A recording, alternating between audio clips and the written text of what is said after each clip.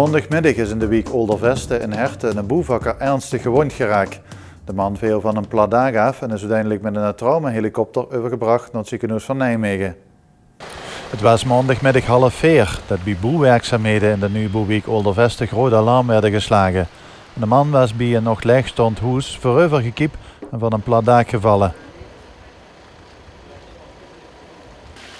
De hulpdiensten rukten massaal uit. Politie en ambulance waren snel ter plaatse ook de brandweer assisteerde bij de hulpverlening. Van de slachtoffer was niet aanspreekbaar en zichtbaar zwaar gewond geraakt door de val. Het ongeval gebeurde in de struimende regen en mogelijk dat de man is uitgegleden op het pladaak. Omdat het om een ongeval op een werkplek gaat, zal de arbeidsinspectie de exacte toedracht nog onderzoeken. Ook werden een traumahelikopter naar Herten gestuurd. De traumaarts kan snel beslissingen nemen om iemand zijn leven te redden. De toestand van het slachtoffer was kritiek. Daarom is de man met een ambulance naar de traumahelikopter gebracht. En met de heli is de man overgevlogen naar het ziekenhuis in Nijmegen.